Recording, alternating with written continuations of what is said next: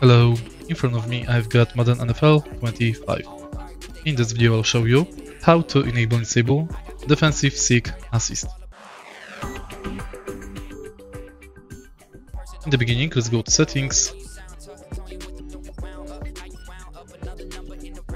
and scroll down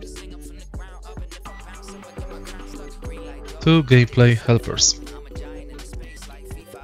Locate defensive heat seeker assist and switch it on and off.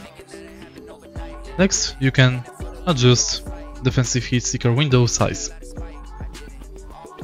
Modify the left stick window size for defensive heat seeker assist, and this function Next to this function, user-controlled defenders are steered toward the ball carrier when attempting to run or dive into them.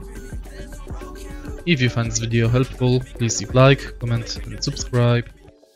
Thank you.